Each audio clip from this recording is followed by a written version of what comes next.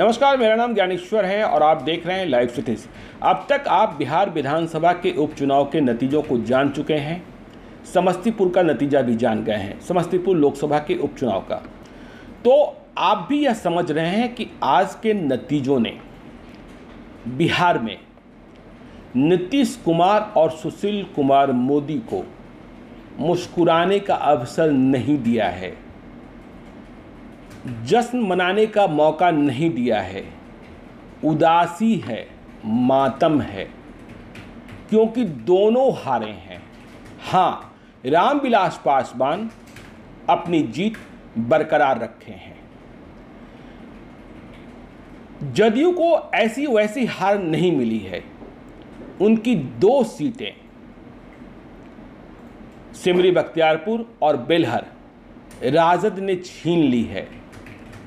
दरौंधा में भाजपा के बागी करणजीत सिंह उर्फ़ ब्यास सिंह चुनाव जीते हैं, जदयू हारा है। सिवान ने संदेश दिया कि हमें दूसरा शहाबुद्दीन नहीं चाहिए। देखिए, अब कुछ लोग कहेंगे, भाजपा के लोग भी कहेंगे कि दरौंधा में जीता तो उनका ही व्यक्ति है।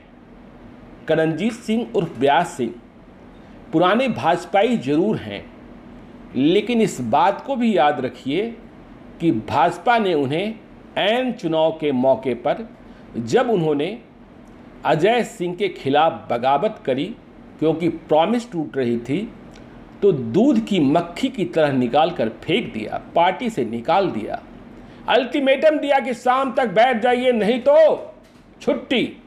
लेकिन ब्यास सिंह मैदान से हटे नहीं, डटे रहे और अजय सिंह को हरा दिया। उस अजय सिंह को जो अपनी दबंगियत के कारण जाने जाते हैं और उस अजय सिंह को जिसे दरौंधा में नीतीश कुमार, सुशील कुमार मोदी और रामविलास पासवान जीत का माला पहना कर आए थे।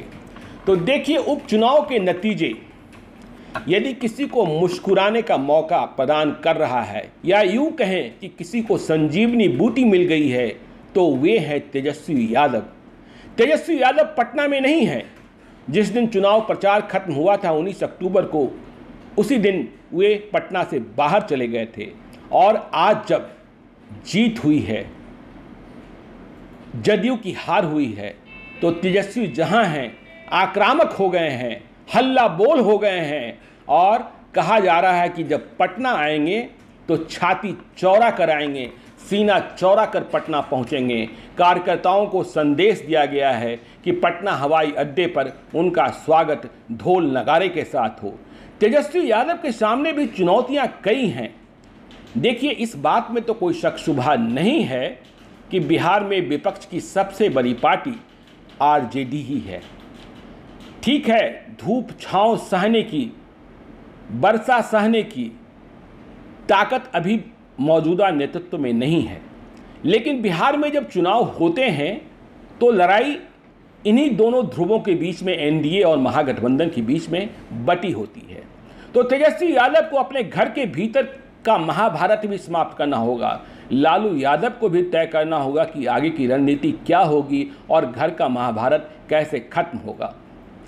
तेजस्वी यादव क्या कर पाते हैं? देखिए, एक बात तो है कि तेजस्वी यादव बहुत अधिक सोफिस्टिकेटेड हैं। वे लालू यादव की तरह रफ टफ नहीं हैं। वे लालू यादव की तरह आम आदमी नहीं हैं। वे लालू यादव की तरह गरीब गुरबा के बीच जीने वाले नहीं हैं। हाँ लेकिन बिहार की राजनीति करनी है और सचमुच में एनडीए को चुनौती देनी है तो आपको रफ टफ बनना होगा, लोगों के सुख दुख में खड़ा होना होगा, सिर्फ़ ट्विटर से काम नहीं चलेगा। इसलिए आप छाती चौड़ा कर पटना पहुंचिए, सीना तान कर पटना पहुंचिए, लेकिन इस बात के लिए तैयार रहिए कि धूप में, बरसा में आपको लोगों के साथ खड़ा होना है, ज़रूरत हो तो जेल भी जाना पड़ेगा। आप यदि पटना में बार हो, भागे रहेंगे। मुजफ्फरपुर में इंसेफ्लाइटिस हो, भागे रहेंगे। मुजफ्फरपुर में सेल्टर होम कांड का मामला हो, भागे रहेंगे। तो जनता बार बार मौका आपको नहीं देगी। देखिए, ये एक चुनाव, उपचुनाव जो हुआ है, यह एक टेस्ट था। जनता ने यह ज़रूर बताया है, एनडीए को औकात बताइए कि देखिए, आप ये मत मान लीजिए कि आप अपराजयी हैं। आप यह मत मान लीजिए कि आपको हराया नहीं जा सकता है। आप यह मत मान लीजिए कि आपकी दादागिरी चलेगी। मैं कल एक वीडियो देख रहा था। झारखंड में गोड्डा है। गोड्डा के सांसद हैं निशिकांत दुबे। वे जाम तारा में कहीं एक जगह भाषण कर रहे थे, झारखंड में भी चुनाव होने हैं विधानसभा के। तो वे कह रहे थे कि भाजपा मतलब एनडीए गठबंधन, जिसे किसी को चाहे वो चोर हो, डकैत हो, लंगड़ा हो लूल्हा हो, कुछ भी हो, जिसे टिकट दे देगा, वह चुनाव जीत जाएगा। निशिकांत दुबे जी, भाजपा के सांसद महोदय, देखिए, ये मौके बार बार नहीं आते हैं। जनता आपको पहचानती है और जब जनता पहचानती है और आप अपने वायदे पूरा नहीं करते हैं तो जनता चोट देना भी जानती है। देखिए, देश समझ रहा है। ऐसा नहीं है कि देश नहीं समझ रहा है। जीडीपी की क्या स्थिति है? आप एमएनपी पर जो चुनाव जीतने का नया फंडा है एमएनपी एमएनपी को समझिए। एमएनपी मतलब एम से मोदी एन से नेशनलिज्म और पी से पाकिस्तान। इसके बूते आप एक दो दफे नारों से चुनाव जीत सकते हैं, लेकिन जब जनता की थाली से रोटी गायब होती है, बैंक डूबने लगते हैं, बैंकों में रखा पैसा भी असुरक्षित दिखने लगता है तो जनता जाग जाती है और फिर जो नतीजे आते हैं, आप हरियाणा और महाराष्ट्र को लेकर कितने निश्चिंत थे। लग रहा था बिल्कुल क्लीन स्वीप है, लेकिन क्या हुआ? हर जगह। लंगड़ी सरकार, हरियाणा में तो बिल्कुल लंगड़ी सरकार, महाराष्ट्र में भी आप शिवसेना के सहारे रहेंगे। आप देख लीजिए जो देश के हालात हैं, अमित शाह को कल धनतेरस के दिन हरियाणा के लिए विधायक खरीदने होंगे। तो देश किसी दूसरे चीज़ की खरीदारी में होगा, पैसे भले कम हैं, मंदी है, लेकिन देश कुछ भी खरीदेगा, हरियाणा में विधायक खरीदे जाएँगे, चाहे वो अमित शाह खरीदें, चाहे कांग्रेस खरीदे। तो बिहार के जो हालात हैं, अब यदि हम महागठबंधन की बात कर लें, मैंने पहले ही कहा कि आज के उपचुनाव के नतीजे नीतीश कुमार और सुशील कुमार मोदी के लिए झटके जैसी स्थिति है, जो नतीजे आए हैं। रामविलास पासवान ज़रूर मुस्कुराएँगे, लेकिन तेजस्वी यादव को संजीवनी बूटी मिली है, उन्हें फिर से खड़ा होने का अवसर मिला है। मुझे पिछले दिनों एक नेता बता रहे थे, पार्टी के वरिष्ठ नेता बता रहे थे कि तेजस्वी यादव से मिलने के बाद ऐसा लगता है कि वे मान लिए हैं कि अब कुछ नहीं होने वाला है। लेकिन आज जो उपचुनाव के नतीजे आए, निश्चित तौर पर उनके भीतर प्राण वायु का संचार करेगा। उनके भीतर नई ऊर्जा भरने का काम करेगा। वो, मुझे लगता है कि नई उम्मीदें लेकर, पॉजिटिव एनर्जी लेकर पटना लौटेंगे। कल मीटिंग भी होनी है, देखना है। इस मीटिंग में तेजस्वी यादव आते हैं कि नहीं आते हैं, क्योंकि एक बात बड़ी फंसी रहती है तेजस्वी यादव के मूड को कोई नहीं जानता है, न लालू यादव समझ पाते हैं, न राबड़ी देवी समझ पाती हैं, और इसकी वजह घर का महाभारत है। अब यदि हम बात करें महागठबंधन, आज जीत मिली महागठबंधन को, बेलहर और सिमरी बख्तियारपुर में। राजद का उम्मीदवार जीता है नाथनगर में आखिरी में हार गया। तो देखिए, महागठबंधन में पाँच पार्टियाँ शामिल हैं। राजद सबसे बड़ी पार्टी कांग्रेस दूसरी बड़ी पार्टी, आरएलएसपी, बीआईपी और हम। तो आज उपचुनाव के नतीजे क्या कहते हैं? राजद का अपना आधार है, यह बात सही है, आज फिर से प्रमाणित होता है। लेकिन राजद को कुनबे को जोड़ने की ज़रूरत है। और तेजस्वी यादव भी मानने लगे हैं। रघुवंश प्रसाद सिंह, शिवानंद तिवारी जैसे नेता बार बार कहते रहे हैं देखिए आप, ऐसा नहीं है कि तेजस्वी यादव में बदलाव नहीं आया है। तेजस्वी यादव ने पिछले दिनों पप्पू यादव की भी प्रशंसा कर दी कि हाँ उन्होंने पटना में अच्छा काम किया। तो खैर तो ये जो पाँच पार्टियाँ हैं और आज जो उपचुनाव के नतीजे हैं तो कांग्रेस की दादागिरी भी नहीं चलने वाली है। महागठबंधन के भीतर आज के उपचुनाव का नतीजा तो यही बताता है। कैसे?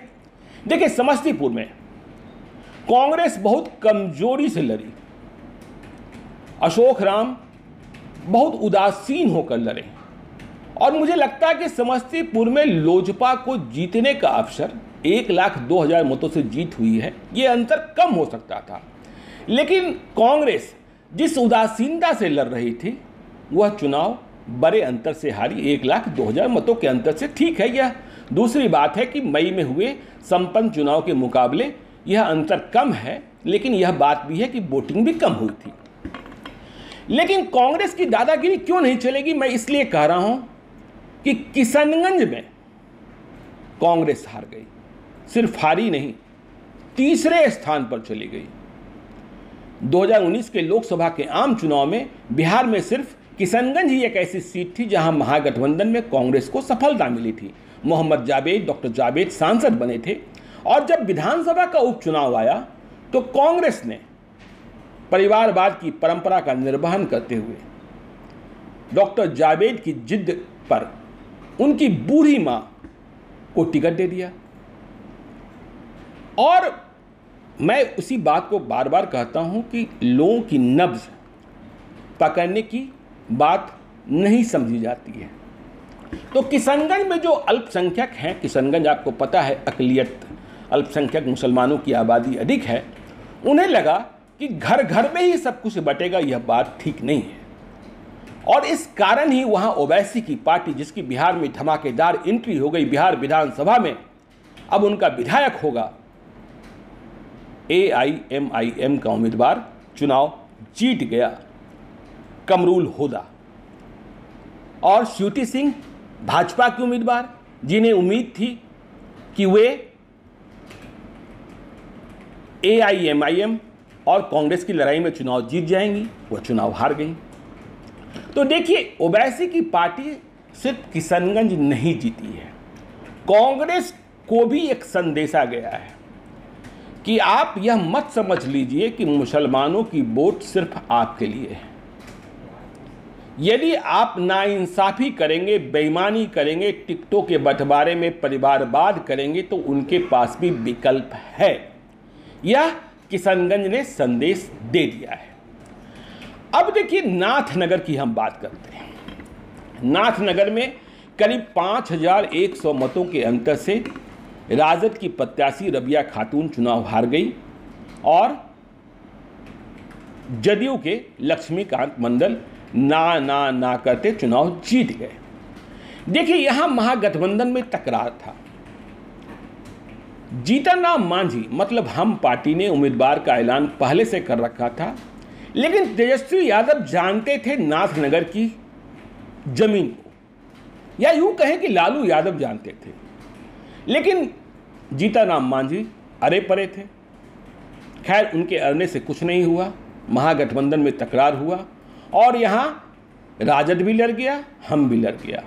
तो देखिए, जो चुनाव का, उपचुनाव का नतीजा आया है नाथनगर का वह यह बताता है कि जीतन राम मांझी को आत्ममंथन करने की ज़रूरत है कि उनके पास ताकत कितनी है। क्या वे अपनी ताकत को बहुत अधिक समझते हैं? और बहुत अधिक समझकर वे नुकसान किसका पहुँचा रहे हैं? आज जो नतीजा है मात्र उन्हें नाथनगर में 6,315 मत मिले उनके उम्मीदवार अजय राय को। तो क्या यह बात प्रमाणित नहीं करता है? कि जीतन राम मांझी को बिन डगरा का बैगन नहीं बनना चाहिए। अपनी शक्ति, अपनी ताकत को केंद्रित करना चाहिए और महागठबंधन में कोई रोड़ा इस तरीके से नहीं अटकाना चाहिए कि सीटें हारने के लिए ही लड़ें। हाँ जहाँ जीतने की संभावना है, वहाँ ज़रूर लड़िए, लेकिन जबर या तनातनी महागठबंधन के लिहाज से ठीक नहीं है। तो यह बात लालू यादव ने शायद जीतन राम मांझी को समझाया भी था, लेकिन वे समझे नहीं। तो बिन दगरा का बैगन जीतन राम मांझी को नहीं बनना चाहिए। अब हम बात कर लेते हैं आरएलएसपी उपेंद्र कुशवाहा की। देखिए, इस पूरी किचकिच से वो दूर रहे। उन्होंने पहले ही तय कर लिया था कि जहाँ जहाँ उपचुनाव हो रहे हैं, वहाँ उनकी ज़मीन नहीं है। इसलिए वे चुनाव नहीं लड़ेंगे। तो इस किचकिच से दूर रहे। इसलिए 2020 में वे अपनी दावेदारी पर कायम रहेंगे। लेकिन एक बात और सिमरी बख्तियारपुर में, जो तनातनी हुई महागठबंधन में, वह अलग किस्म की तनातनी थी। आपको याद होगा कि 2019 के लोकसभा के आम चुनाव में तेजस्वी यादव ने बीआईपी को तीन लोकसभा सीटें दी मुजफ्फरपुर, मधुबनी और खगड़िया। खगड़िया से वीआईपी पार्टी के मुखिया मुकेश सहनी स्वयं चुनाव लड़े। हार गए। मोदी महालहर था। अब उपचुनाव आया सिमरी बख्तियारपुर में। दिनेश चंद्र यादव मधेपुरा के सांसद बन गए थे, शरद यादव और पप्पू यादव को हराकर। तो मुकेश सहनी को यह लगा कि यह सीट उन्हें लड़ना चाहिए, क्योंकि इस लोकसभा सीट से उन्होंने चुनाव लड़ा था और हारे थे। तेजस्वी यादव इस बात के लिए तैयार नहीं हुए, क्योंकि उन्हें पता था कि सिमरी बख्तियारपुर का जो समीकरण है, वह समीकरण मुसलमान और यादवों का है। जदयू ने अजय कुमार यादव दिनेश चंद्र यादव के हनुमान कहे जाने वाले को प्रत्याशी बनाया तो राजद ने ज़फ़र इमाम को प्रत्याशी बनाया। लेकिन मुकेश सहनी माने नहीं। मुकेश सहनी जो निषाद की राजनीति करते हैं, उन्होंने अपनी पार्टी से दिनेश निषाद को उम्मीदवार बना दिया। लेकिन चौंकाने वाली बात यह है कि ज़फ़र इमाम सिमरी बख्तियारपुर से चुनाव ज़रूर जीत गए राजद के टिकट पर। जदयू हार गया, दिनेश चंद्र यादव का किला ध्वस्त हो गया लेकिन मुकेश सहनी पच्चीस हज़ार वोट ले आए। अकेले बूते अकेले दम पर। और वह भी तेजस्वी यादव को चुनौती देकर। तो इसका मतलब तो ये निकला कि जो निषाद राजनीति की दिशा में वे आगे बढ़ रहे थे, उनका फार्मूला सही जा रहा है और वह महागठबंधन में यह सिद्ध करने में सफल रहे कि देखिए मुझे नकार नहीं सकते हैं, मेरी ताकत है। तो ये सिमरी बख्तियारपुर का अब मुकेश सहनी की आगे की रणनीति क्या होती है? क्योंकि वो दोनों, एनडीए और महागठबंधन, दोनों के नज़रिए में आ गए हैं, दोनों की दृष्टि में आ गए हैं। सिमरी बख्तियारपुर में पच्चीस हज़ार वोट लाख। क्योंकि यह जदयू भी विश्लेषण करेगा कि मुकेश सहनी सिमरी बख्तियारपुर में वोट किसका काट ले गए? क्या अति पिछड़ों का वोट काट ले गए? जिस पर एकाधिकार नीतीश कुमार का हुआ करता था। तो ये सारी स्थितियाँ, परिस्थितियाँ बनती हुई दिखाई पड़ रही हैं। अब तेजस्वी यादव किस तरीके से सीना तान कर आते हैं, किस तरीके से नई साँसें भर कर आते हैं, किस तरीके से नई पॉजिटिव एनर्जी लेकर आते हैं, क्योंकि यह उपचुनाव और जिसका नतीजा आज आया है, उसने यह तो साबित कर दिया कि एनडीए अपराजयी नहीं है। आप देखिए, यह नतीजा इसलिए भी महत्वपूर्ण है क्योंकि चुनाव के दरमियान ही अमित शाह ने कह दिया था कि 2020 में नीतीश कुमार ही बिहार में एनडीए का चेहरा होंगे। कोई कन्फ्यूज़न नहीं रहेगा। गिरिराज सिंह जैसे लोग, सच्चिदानंद राय सीपी ठाकुर, संजय पासवान जैसे लोगों की बोलती बंद हो गई क्योंकि अमित शाह ने ही कह दिया कि उनका नेतृत्व बना रहेगा। लेकिन इस नेतृत्व को भी आज चुनौती मिली है और इन्हें भी समझ में आ गया है। इसीलिए जदयू ने कहना शुरू किया है कि हम मंथन करेंगे, हार क्यों मिली? आखिर क्यों हार गए नीतीश कुमार? आखिर क्यों हार गई बीजेपी? यह महत्वपूर्ण बात है। तो बिहार की राजनीति आगे किस करबत में जाती है, हम इसका ध्यान रखेंगे, आपको बताते रहेंगे। आप बने रहिए लाइव सिटीज़ के साथ। यदि अब तक आपने हमारे यूट्यूब चैनल को सब्सक्राइब नहीं किया है तो ज़रूर कर लीजिए। धन्यवाद।